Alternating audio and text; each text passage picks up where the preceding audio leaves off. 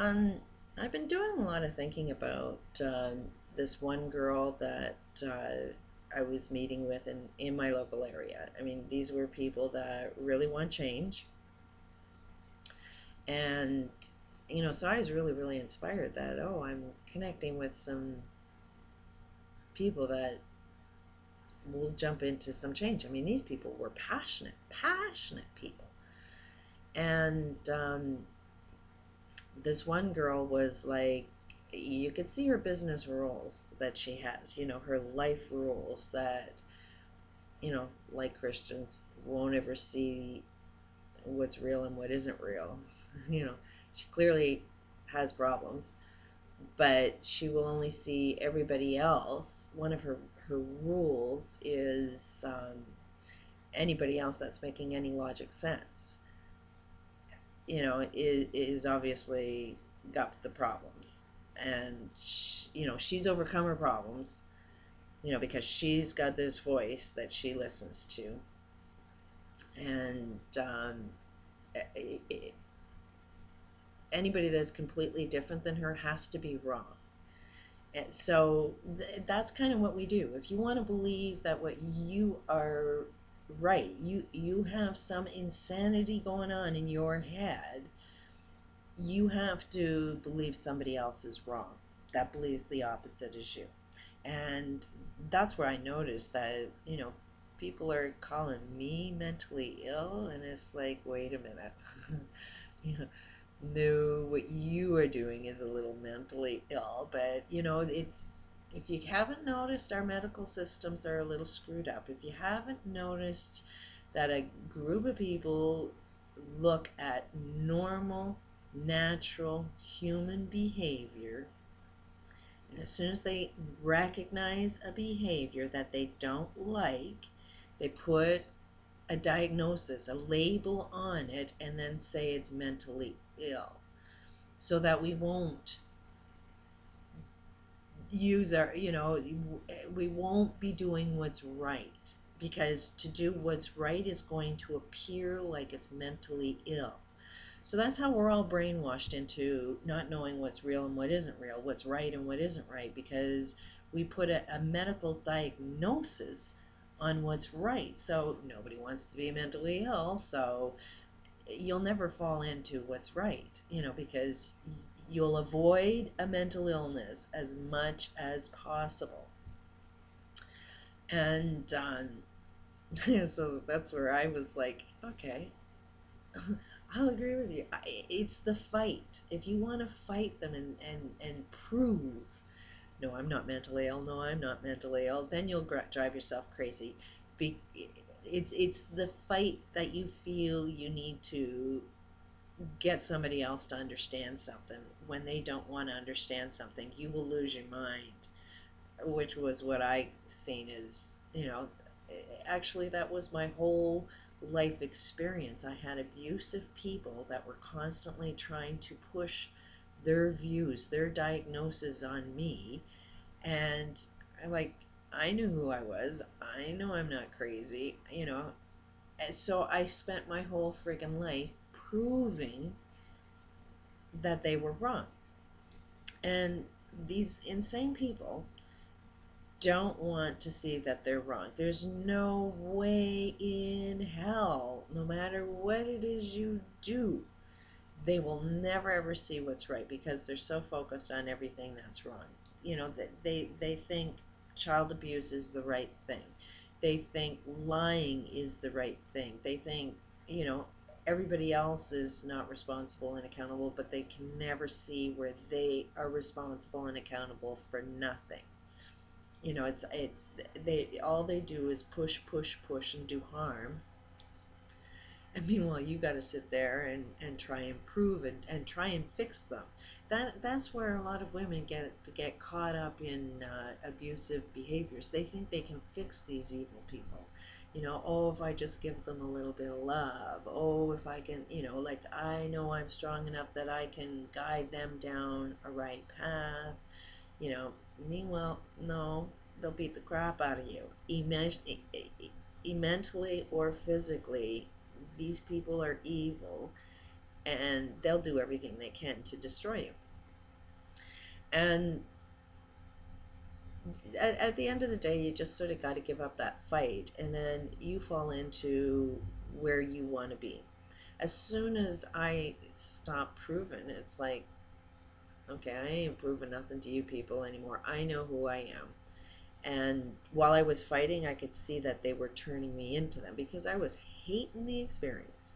And I was not full of hate. I, I think hate is the worst evil thing that you can possibly be, but I was starting to be a very hateful person because I hated what they were doing to other people. I hated the abuse. I hated seeing all of these organizations claiming to help, not really there, just earning that greedy buck.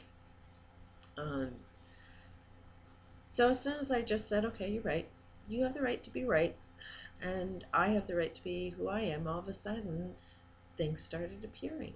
Things started working out. My life started really falling into place. You know, the more I don't feel like I need to manipulate or change evil ways. Just just let evil be. And they'll die out as long as evil has no effect on you.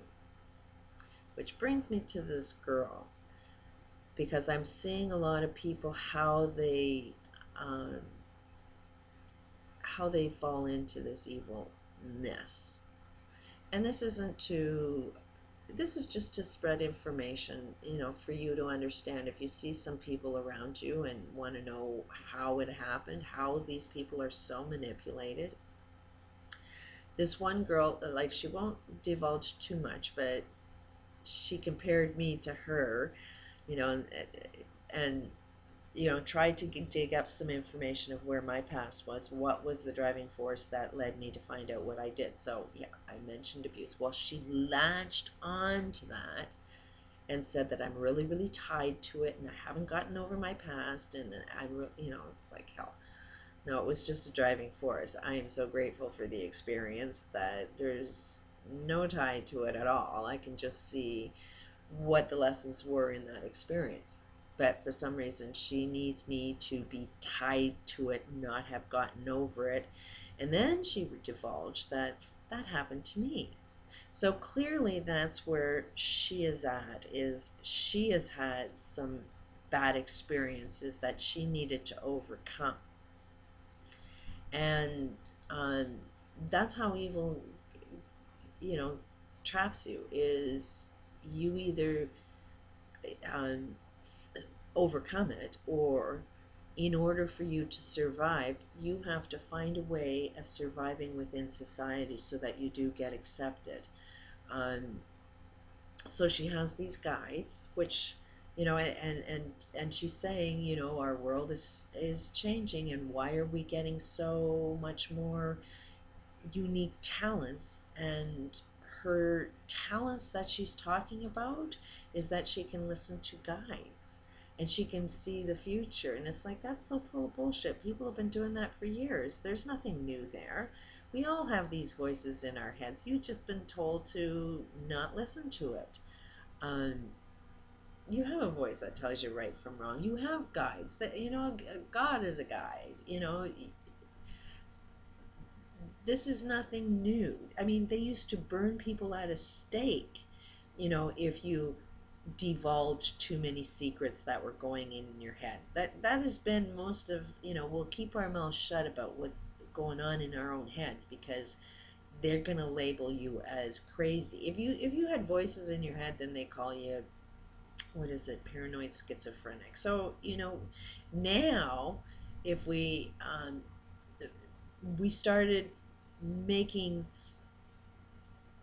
really um, mental illness, you know, when you are dealing with something that is an illness, like multiple personality, we try to accept that. What what is good about that? And that is channeling. Channeling seems to be okay. That behavior of, you know, what we thought was a bad negative behavior, now we change it around to make it appear good. These voices that you hear in your head, I mean, we used to call that schizophrenic. Now it's a natural thing. It is a natural thing, but you have to know how to use it. And um, she says she has a bunch of guides, and some of them are evil and some of them are good, but she's knowing the distinction between which ones are good.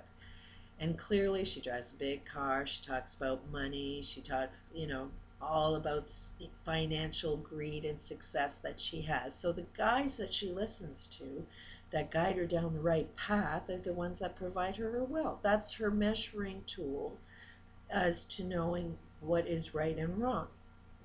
And one thing that she's really lacking appears to be her lack of connection with the globe. Um, from my perspective, if I want to find a solution, I have to be a global thinker and think of, okay, if this is an answer, if this is a solution, how does it affect everybody else on the planet? A solution can't do harm to other people.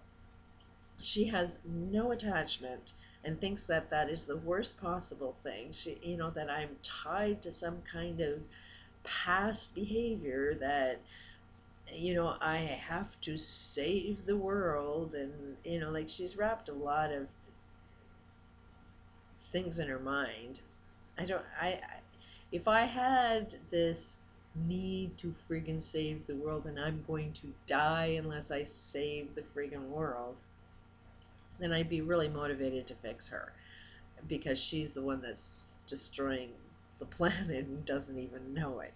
She's uh, has no association to you know whatever her acts may be she will pollute the world. I mean she wants to invest in in a water concept but the water concept that she is got it towards fixing is some kind of um, um, bottle that you just shake some polluted water and out comes clean water that she can only drink. It's not about cleaning the water on the planet no.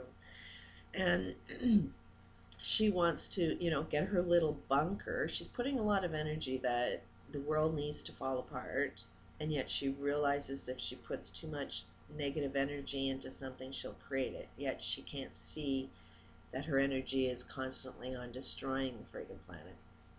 She's not making that connection.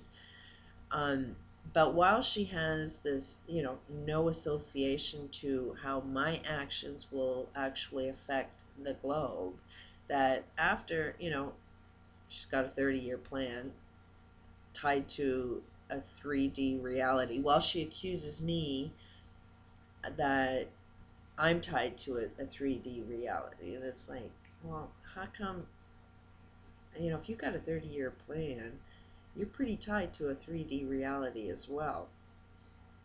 Doesn't make any sense, but yeah, if these people are the ones that are going to just save themselves and they have no idea how they pollute the water, then after the whole friggin' planet is destroyed, believe these people are going to destroy the water again because they don't even know how they're doing it now.